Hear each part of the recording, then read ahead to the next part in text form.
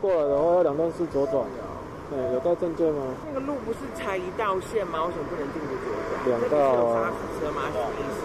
那我打一九九九电子政府啊。违规左转遭拦下，其实理智线突然断开，压榨老百姓的钱，以为老百姓的钱很好赚吗？一堆米虫，健保就是会这样打，铁饭碗了。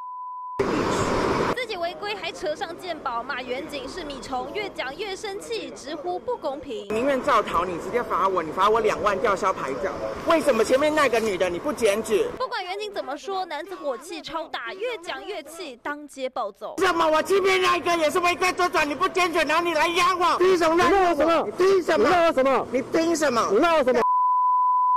不雅字眼，还夹杂中英文。事发就在台北东区延吉街口，其实违规被开单事小，出言入境涉嫌妨害名誉遭提告。这下才知道代际大雕，最后以两万元跟当事远景和解。同样脱序举动还有这位大哥，喝得醉茫茫，在屋内跌倒受伤，救护人员紧急到场帮忙包扎，抬上担架送医。没想到男子突然坐了起来，朝救护人员胸口猛踹，还骂人，一脚踢向我们的同仁左胸口，有点擦挫伤。事发就在台北万华某茶室，六十五岁陈姓男。子酒醉受伤，攻击救护员，害得他左胸受伤，遭提高伤害及妨害公务，最后赔偿四万元。不论酒醉还是一时冲动，入警攻击错的离谱，罪加一等，这一脚更是赔惨了。记者叶伟林、潘亚乔台北报道。